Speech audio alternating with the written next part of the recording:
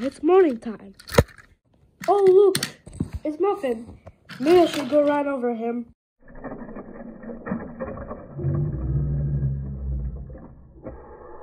Thomas, stop. You need to stop being a psycho.